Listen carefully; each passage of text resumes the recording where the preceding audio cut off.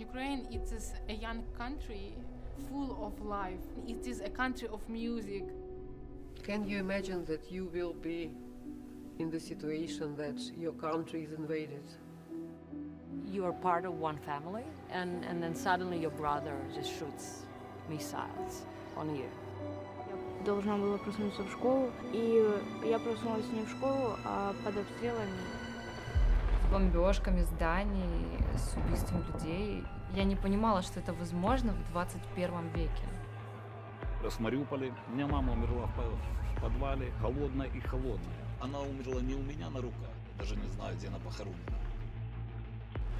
We have five, six funerals every day in Lviv. what is it to be a human being?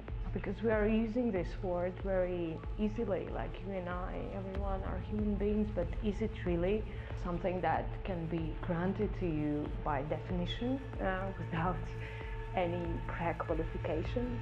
I don't know. I don't know. Anyway.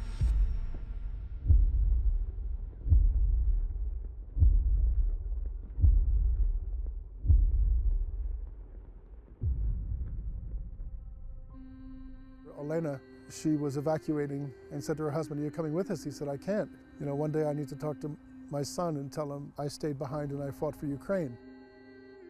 During the first months of crises, those were the volunteers who have dropped everything to help and provide to the refugees.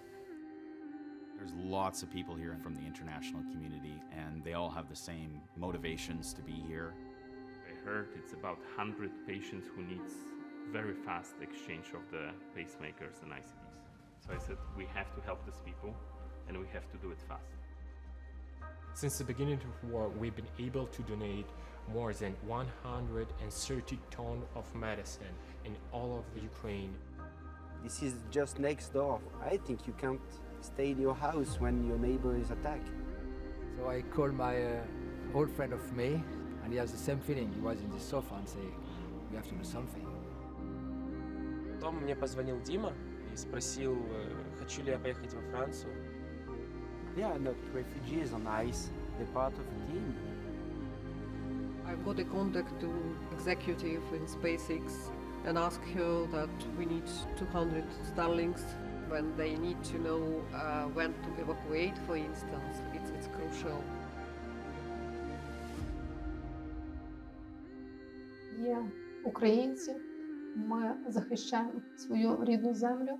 Ми ніколи не здамося, нас не здолати. Україна переможе в цій війні, тому що We are united in our fight, in our grief. I believe we are united in our hope. Martin Luther King said that uh, when such things happening, we remember not the actions of our enemies, but the silence of our friends. So being silent is, for me, is not uh, being human.